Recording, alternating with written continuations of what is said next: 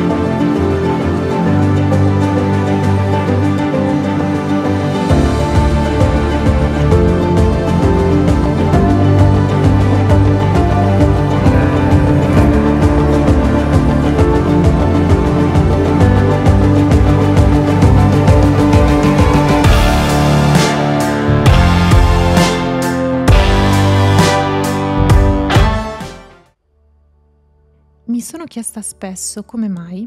ovunque io vada, nonostante cambi la lingua, la latitudine, il cibo, il panorama attorno a me, le persone, io mi senta comunque a casa. È una sensazione che a volte riesco a percepire in un modo forse ancora più intenso rispetto a quando non si è accolta tra le mie mura domestiche. La verità è che il motivo per cui questo accade eh, credo sia legato al fatto che io sono la mia casa il mio corpo, i miei pensieri, il mio modo di essere è la mia casa.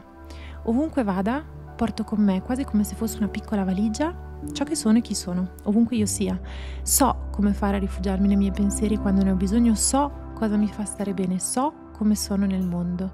Tutto ciò che mi circonda muta, ma io rimango lì, come un punto di riferimento fermo su cui fare sempre affidamento. Un tempo pensavo che ciò che fosse casa per me dipendesse da qualcosa di esterno e fisso, stabile. Poi però ho iniziato a viaggiare e mi sono resa conto di quanto in verità per me casa fosse il mondo, perché tutto ciò di cui ho davvero bisogno ce l'ho già, sempre con me, sono io.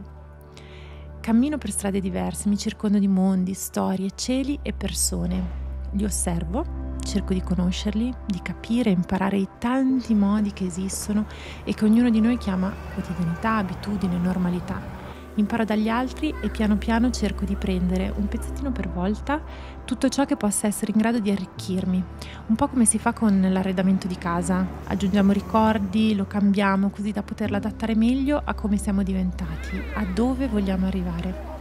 Noi siamo la nostra casa. E così come teniamo puliti e ordinati i luoghi in cui viviamo, li arricchiamo, li rendiamo dei posti accoglienti, sicuri, così dobbiamo fare con noi stessi perché qualunque cosa accada, ovunque ci troveremo, noi saremo sempre la nostra casa.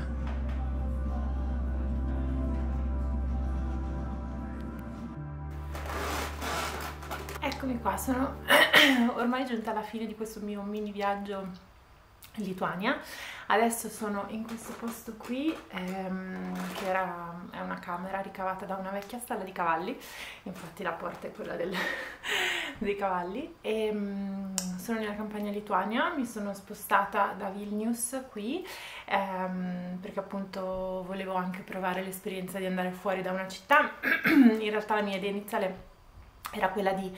trovare una piccola casettina piccolina in mezzo al bosco dove, dove poter mm, fermarmi, però avendo organizzato tutto in una settimana era già tutto, tutto completamente pieno e avendo capito che in questa zona dove sono adesso mm, c'erano abbastanza di queste casettine, mi sono informato e ho detto va, vediamo se cosa c'è. Da queste parti ho trovato questo, questo posto eh, che mm, si chiama Red Brick, è una fattoria con ristorante annesso e ieri sera infatti ho fatto una bellissima cena con il menù degustazione dello chef che eh, ho chiesto di adattare vegetariano, quindi mi ha fatto tutti dei piattini con le verdure mm, che coltivano nella, nell'azienda agricola e è stata, è stata molto bella e mm, ho avuto un po' di difficoltà ad arrivare a questo posto perché ho dovuto prendere due pullman da Vilnius. Eh, il primo tutto liscio, nessun problema, arrivato alla città principale. Il secondo doveva essere un tragitto di un quarto d'ora. Eh, il problema è che l'autista non si è fermato alla mia fermata cioè ci, non ci siamo intesi io e l'autista perché praticamente all'autista avevo chiesto cioè pensavo che lui avesse capito dove dovevo fermare perché mi ha guardato, mi ha ripetuto il nome del posto. In realtà no, quindi è andato dritto, sparato. E, e alla fine sono scesa scesa alla fermata dopo, dove scendeva anche una signora, che era praticamente in un micro mh,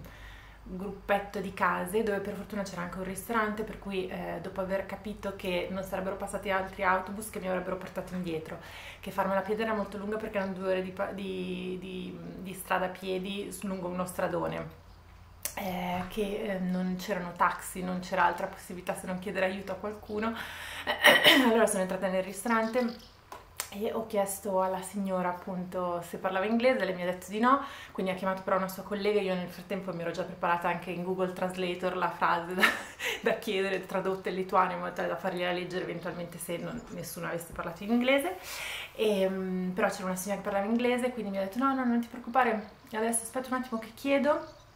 è andata dietro a chiedere delle cose, poi è tornata e mi fa aspetta aspetta un secondo, comunque se mi dicono di no non ti preoccupare che ti ci porto io, è stata super gentile, alla fine questo ragazzo che eh, stava tagliando il prato lì nel, nel ristorante mi ha, mi ha, dato un passaggio, non parlava inglese però ci siamo capiti, purtroppo non mi ricordo come si chiama perché me l'ha detto ma io ho una mente terribile con i nomi e quindi l'ho rimosso,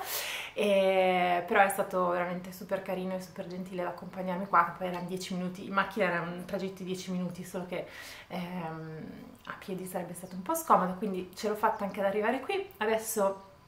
eh, ritorno nel, pa nel, paese, nel centro abitato più, più, vicino qua, un po' più grande, da cui parto in pullman per Vilnius, lì prenderò un altro pullman, tornerò a Vilnius e lì mi aspetta ancora una, una notte, poi domani ho il volo per, per rientrare. Quindi niente, questo è stato un po' questo micro viaggio, questa micro fuga che ho fatto. Eh, in Lituania mi è piaciuta tantissimo, proprio bella, bella, bella, sono stata proprio bene, mm, mi piacerebbe tornarci, mi piacerebbe tornare per poterla visitare un pochino meglio, soprattutto anche zone non nelle gra- grandi città, perché chiaramente sono due mondi completamente diversi, cioè Vilnius è città super europea, moderna, dove tutti parlano un inglese perfetto, però poi di solito c'è sempre questo secondo lato, come, sarebbe come dire che l'Italia è Milano o Roma o Torino, quindi mi piacerebbe conoscere un pochino di più anche un altro tipo di anima di questo paese, comunque bellissimo, super consigliato anche da viaggiare da soli, è perfetto, molto, molto organizzato, tutti gli spostamenti sono, sono facili da, da organizzare, si fa tutto online, quindi super approvato. E niente, ci salutiamo al prossimo video.